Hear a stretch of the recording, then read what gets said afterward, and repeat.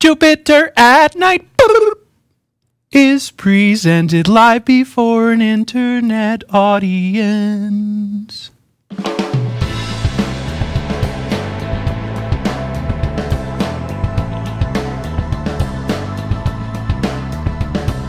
Good afternoon, everyone, and welcome to Cast of Failures. My name is John. I'm Brad O'Keefe. And I'm ja- Angela. Tonight's episode is all about, guess what? Memory loss. Uh, we thought, you know what? We here at the crew at Jupiter Night, we are a bunch of multitaskers. And that has led to one major thing. We don't do anything right. And I can't remember a thing. We are pathetic. And so we thought we need a way to improve this fairly dramatic situation.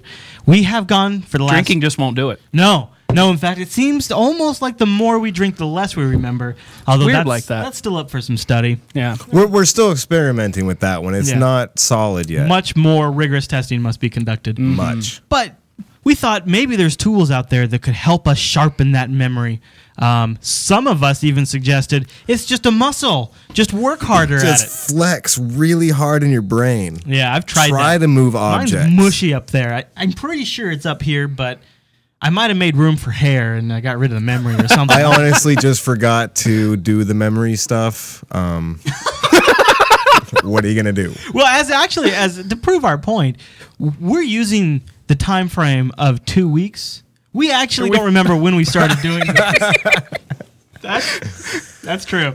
I could probably check my earliest note from Evernote. That's what I was to, thinking. To find, but I don't think I started using it right away. I think you had to remind me a couple times. Hey, we're doing that thing. Remember? Yeah, yeah, Oh yeah, yeah. No, I got to get that. yeah. And see, I downloaded it, but I never used it once. Now, see, I, on the other hand, I, I should have brought my Evo out here. I think I just left it over there.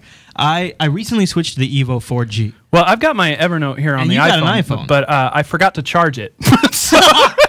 That's true. it's gonna go dead, dead any minute now. Prepare. but uh, the J Man and I here have been pretty good about sticking with the Evernote usage. Mm-hmm. Um, in fact, uh, we've been using it in some really clever ways that I have found actually have actually made a really good improvement uh, in my memory. Now I know you want to talk about voice notes, I and I think because you're going to talk so much about voice notes, I'm going to mention uh, the photo notes because that's what I use the F out. Mm, okay, right. Uh, I know you did too, but I've been using Evernote to take a picture of anything I need to remember Wow. anything that I think is going to anything I think I'll need to be able to refer back to.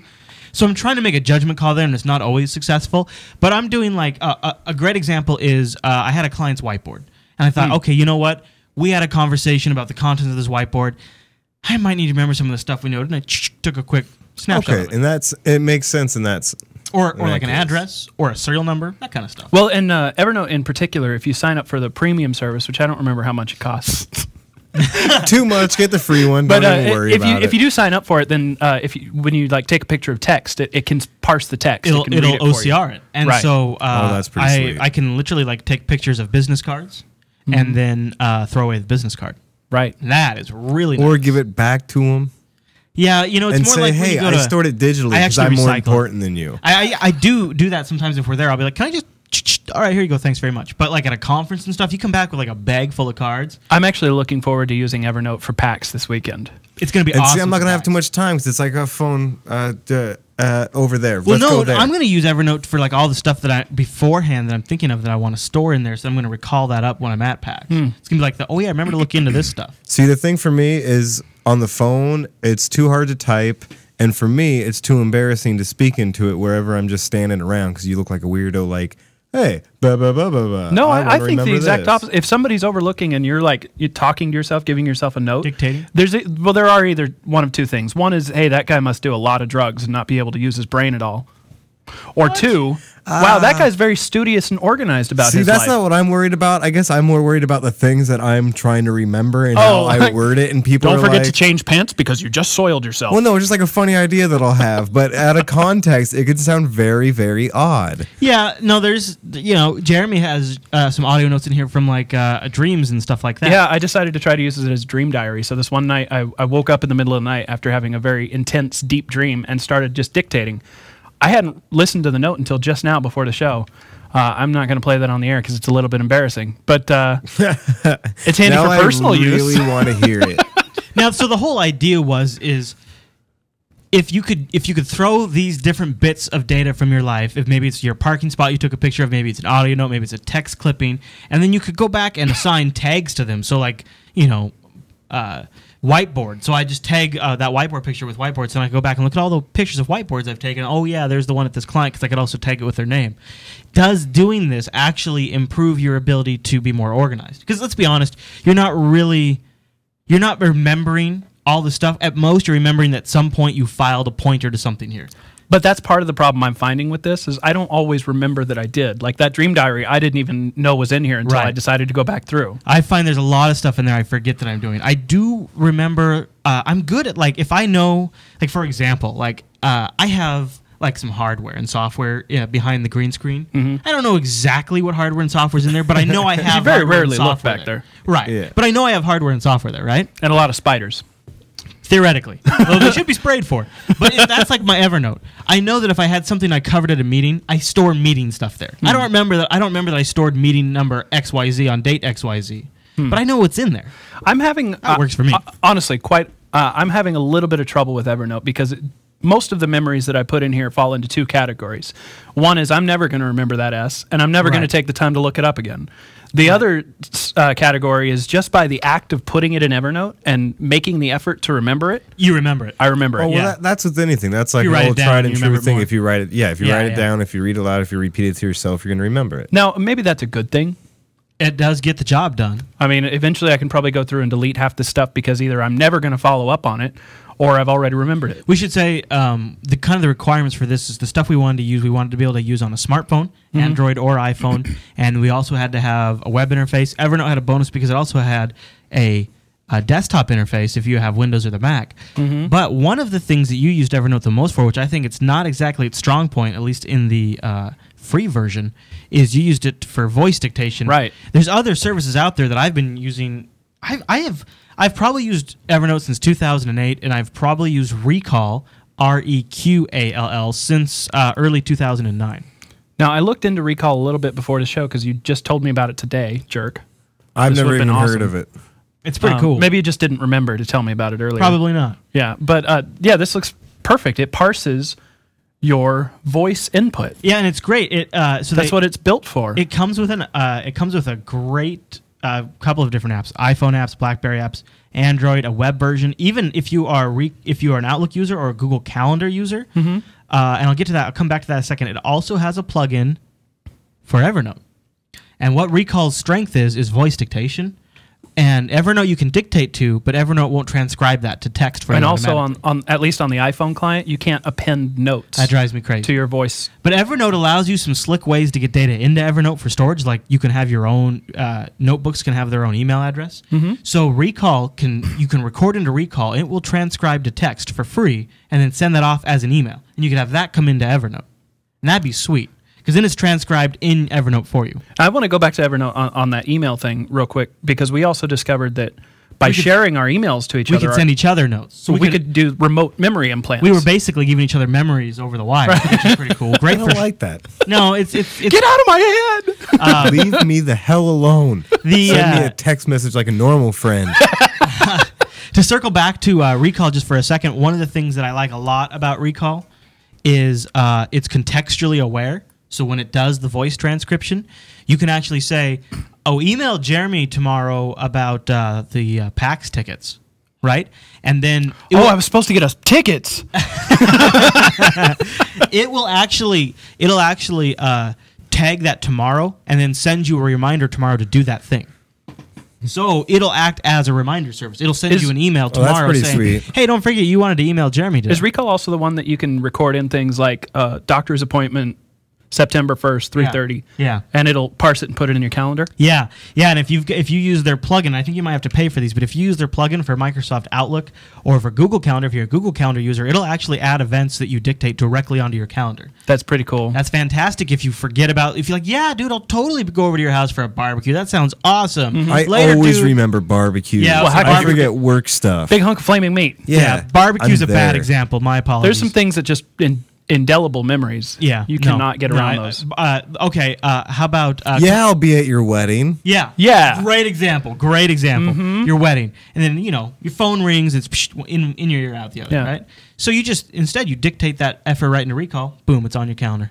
Then you'll never forget a friend's Now, wedding. Now, what happens? Like, say for example, you have that wedding planned, and then all of a sudden you have another appointment. So when you put in that other appointment, does it say, "Hey, just so you know, you have a conflict of interest here"? I don't think it, I don't think it's smart enough to give you that, but you could always just, you know, You know, just generally speaking, I have not yet encountered a single app No. that, that notes your calendar um, conflicts. Yeah. I don't- Outlook, Well, yeah, if you want to use Outlook, yeah. Outlook's kind of lame. Um, also, something that I haven't yet had a chance to play with, but we'll just move on while we're talking about services. But I wanted to give a mention to Dial2Do, Mm. Dial the number two Do, which is supposed to be more of a. It, you call it, and it's a more more advanced speech recognition and commands, like even Twitter messages, read me my email, stuff like that. Send Twitter to Bob, And I'm positive Yeah. that's not free. I'm almost. I don't even know if they might have a trial, but and it don't. It, that's not available for iPhones because you have to be able to multitask to use it. So, it's, or you can just call. You can also. They just have a one eight hundred number you dial. oh, well, Yeah. okay. The app itself says BlackBerry and Android Now, only. grab those. Uh, grab those um, pills you have there. Oh, these ones? Yeah, so I I also experimented with these uh, Drugs. Always experimenting with pills. No, I actually am not a big pill person. He doesn't know Um, anything about them. These are just something his pusher gave to him. No, I looked these up actually. Okay, all right, All right, let's. oh, get those real. smell terrible. you guys. I was Really? internet stupid for a minute. I got to be honest with you. I actually haven't told you this part of the story. Oh, Yeah, well, let me smell. I don't remember. damn. Just eat them quick. Don't smell Oh yeah. them. Well, actually, they kind of smell like berries. No, they don't. like dirty berries. Yeah. Okay. Dirty berries. Really I don't dirty want your berries. dirty Face berry is dirty smell. berries. Uh, so It's Bacopa. I was looking up something. I don't remember what, but I, you know, through the internet, I got to Wikipedia, where you know, you pretty much everybody ends up at Wikipedia. And it's always true and realistic. So I then I got into something about memory, and I found something about that, and then I went and looked it up, and they people were talking about it on Wikipedia, and then I went and found it on Amazon, and people were reviewing it well on Amazon, uh, and it's a, it's a it's a plant extract, um, which you usually can't go wrong there, called Bacopa. And, and it is. uh, it's actually it's used in a lot of different countries for memory boosting. I, I'll say this: I, I used it for a short period of time, um, two or three days, maybe maybe five days. oh, I thought it was closer to like a week or two. Oh, it might have been That's a week enough actually. time. He doesn't no, remember. It was, it was a week. It was a week, but then I used it for another couple of days after, on and off. It made me dizzy once, and so I quit using it. And I don't know if that was just like a bad day or what, because I'm not. I don't get the phasia or something like that very often. Yeah. I'm not like I have dizzy spells, and I don't have to go lay You're on the always fainting couch. fainting. So I was like, all right. oh my stars! yeah, I was like, oh, I think I'm gonna hold off on that for now. Uh, but you know what? What? I think didn't you guys both comment that you noticed it was working? All right. You commented, and I think you were a little sharper during that time. But you know, it Do you might have. recall? nope. There's a thousand I different don't things in remember real you life. even mentioning these pills before. Jeez, I really hope you didn't mention them to me. I did. We talked about it while you were in there Here, editing take, the, Lotso. take these home with you you. talked to. Jeez. I can tell you've been working out your memory muscle real good. I will now. I got pills, yo. But I, Better living through chemistry. I just can't confirm or deny that they actually worked or not. But people on Amazon sure seem to think so. wow. I know. But the placebo effect is very strong. Yeah, that's what I was really cautious of. But then, like, you know where I, the reason I thought it might have been working because I was accidentally remembering stuff that I would never normally remember. That's the stuff that I noticed from you. yeah. It was just that weird, like, oh, blah, and it had nothing to do with what was going on. right. Yeah. It's just I was able to retrieve it. And Yeah. yeah. I don't know. Um, so, anyways, I'd be. But that curious- might have just been random misfiring. Right, it could be. Who knows? and that's just it. It could also just depend on how well I slept that night before, which is usually I slept pretty trashy, and that really affects memory. Out of everything else we're doing, that's the big thing. I guess in You summary, know, though, between sleeping like crap and drinking on occasion, and and some of the other terrible habits And you have in your life, multitasking a and lot. multitasking, we're really doing everything we can to destroy our ability to remember anything that's true. ever. I'm amazed we remember to do this show live every night at 9 p.m. I over at almost forgot. jupiterbroadcasting.com slash live. But we hope you remember. what were you going to say? I almost forgot. Uh, you know, before we wrapped up, Jeremy, I wanted to get your final thoughts. Did you, are you going to continue to use this tool to extend your memory? I think I'm going to switch to ReQall because I really love audio. What about notes. using ReQall Totally. to store into Evernote? I might do it that way, but that seems like an added layer of confusion. I then see. I look at I look at Evernote as like the back end database, and ReQall Maybe. the front end. Oh, and I actually have used Evernote for a couple cool things over the last, like, uh, actually just last week on one of the post shows. Yeah. Uh, somebody sent me some direct messages of links I didn't want to have to tell them, you know, I usually tell you guys just email it to me. I don't have time to look at those. Instead, I just took a picture of the screen. Oh, okay. And it's in my Evernote. and you were able to get, and it was legible. and- yeah. I mean, it's not great. It was a picture of a computer screen, but Yeah, I read it enough that I can go home and type that in without having to go through the extra steps of asking them to email me. They That's might forget. Uh, there was also the name of an artist that Ange, your wife, played on the faux show before a previous show. I was able to store that. I haven't looked it up yet, but I have it. I had a crazy idea. Before we go, maybe I'll just finish with this idea to really bring home, to, to close the problem we have with Evernote right now. I think our main, our, our, our group problem is sometimes we just forget to even use Evernote. We forget to use the tool. My solution to that is as follows. You guys um, may or may not be f- familiar with QR barcodes, but they're little square barcodes. You'll see it a lot for Android software and stuff like that. And they they look like just little, like they could be a little sticker you could put on something. They actually they remind me of the creatures from Space Invaders. Yeah, yeah, they kind of look like those guys exactly. and you can use a QR code to to, to retrieve uh, you know arbitrary data, which could be an Evernote URL note, And so, and you could get a little like uh, inkjet sticker sheet. And you could generate these QR codes for free. There's just free websites that'll do it. And you could associate, like, we could put like a QR code on that on that rig right there, that computer, and then we could associate that QR code with a specific note. And then on our phones, we could scan the QR code because they all have QR code Yeah. scanners, and then it would call up the Evernote right there on our phone, and we could have all the information about that computer. That sounds like it'd be really handy for your line of work. You could put the specs in a QR code on every single. but I could apply that to the studio too. I mean, that's that I did come up with it for my day job Right. for IT stuff. Mm-hmm. But expanding on that though, I mean, we could even do the mixer, and you could call up and it could be all the notes for all the audio levels, which mics are into which channel, Right. stuff mm-hmm. like that, right? Or like we could have a picture on on a computer, so you know, okay, turn things on in this order, and a, and a, and a QR code on the camera. That could be handy. I just wish I was important enough to use any of this because all of this is like, well, that'd be, well, what would I use it for? I have, I have I thought I just absolutely gave you a couple of fantastic examples, Alan. For you, yeah, Yeah. For for people with real lives and real Oh, jobs, I, yeah. I have a brainstorm that this might help you out. I mean, Okay. you go fishing once a go. year and you're stuck on a boat. There's got to be a ton of stuff too that you Do you ever just sit around brainstorming and you wish you had a way to like easily take capture a it note? all. I do. I then you just I flip out open your- up my little notepad that Yeah, I have sounds and radical. click on my pen and just write away. What are we in the dark ages? I'm on a boat. I got to be honest too. Sometimes I find writing to be the best way to remember and it does. something. It does assist with your memory. Yeah. I think it, it engages a different portion of your brain. It makes you think it out more as you're typing it out. And a lot of times when I go back to handwritten notes, I understand it more than stupid Oh, little know about notes I wrote on my phone. I don't know about that. I think I've told you guys before that I, I am notorious for having piles and piles of sticky notes, just Yeah. containing anything that I ever thought about on uh, all over my computer Right. desk. Oh, well, no. I took a picture of most of the, the useful ones, and they're in my Evernote now. Throw them all out. Now I've already started building a new collection, but theoretically, in a couple weeks, I can consolidate them, Yeah. take another picture, and throw them away. I mean, it's nice because you always have it with you, and you can always take notes and retrieve information, and it syncs to the Mm-hmm. web, syncs to the desktop. So I, I like Evernote a lot. I think it's a good tool for this. But I'm curious to know if anybody else has tricks out there to improve their memory. I'm Uh, sure. yeah, oh, that's good. I'm sure people would have something they could pass along to us. I think it's kind of the problem of our of this generation with social media and all of the different news sources we have. There's just too much going in. Just all, yeah. There's just too much going in to retain it all. So I'm sure everybody else out there must be running into these kind of memory bandwidth constraints, and I'm curious to hear what your solutions are. I wish we had like a forum or something that they could like post those. you know, Yeah. Jeremy, we actually do. Really? Yes. Oh my I'd goodness. forgotten all about JupiterColony.com. JupiterColony.com. There you have it. And you know what? If somebody has a really good a really good system to solve this problem, if you wanted to highlight it in Jupiter Colony, I would absolutely love to cover that on a future episode. I would love If to we read that. remember. If if we recall. But if Um, you remind us, we will. And one last shout out. Uh, we're going to be at PAX this weekend. If you're in the Seattle area and you want to meet up, uh, just come find us at PAX. Probably the best way to do that is to contact uh, either myself. I am twitter.com slash Chris LAS. Or I'm twitter.com slash JBJeremy. And I'm Alan. He's not on Twitter, but he'll be around one of us. So that gets the job done too. We'll have him on a short leash. The hell with that. I'm going to be running around like a kitty candy shop. Woo! That's right. We're all going to be equipped with cameras and we're going to unleash on the back. It's going to be a blast.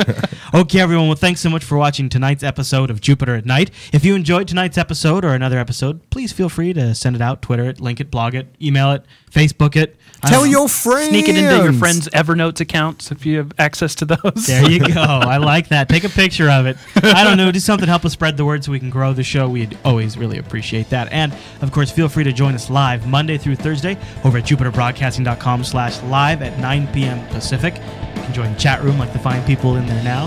And uh, we'd love to see you then. Until uh, tomorrow night. I feel like we've forgotten something. I know.